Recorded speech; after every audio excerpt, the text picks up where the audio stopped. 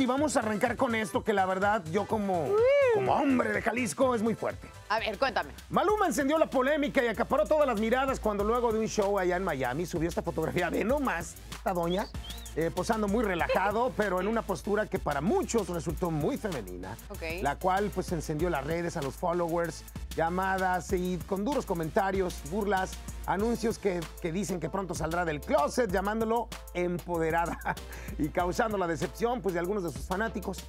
Sabemos que desde hace mucho, pues ya sabes que hay rumores, ¿no? Sobre la sexualidad del colombiano. Y aunque él tiene una relación muy estable con su novia Natalia, yo creo que con su maquillista más, pero parece que no es lo suficiente para callar bocas, sobre todo esto en redes sociales. Y bueno, le llovió sobre mojado, ¿eh? Bueno, a ver, hay muchos hombres que aunque tengan una relación estable con una ¿Con una pareja, no- luego tienen otra relación de otro tipo con otras personas, ¿verdad? ¿Será el caso de Maluma? No lo sé.